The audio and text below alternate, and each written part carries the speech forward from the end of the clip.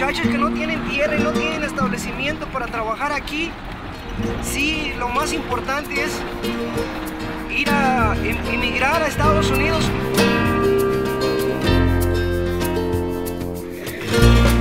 Trabajando por día no te vas a hacer de, de ganado ni te vas a hacer un comprar una tierra. Aquí no.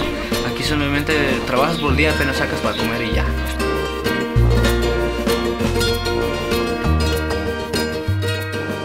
Distance is irrelevant when loved ones are far away.